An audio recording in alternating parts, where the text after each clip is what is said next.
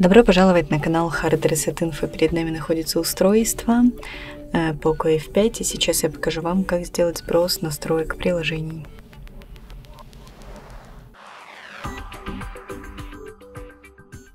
Итак, для этого мы открываем настройки. Далее заходим э, в раздел приложения. Здесь мы выбираем все приложения и нажимаем на три точечки в правом верхнем углу и нажимаем «Сбросить настройки приложения» и нажимаем «Сбросить».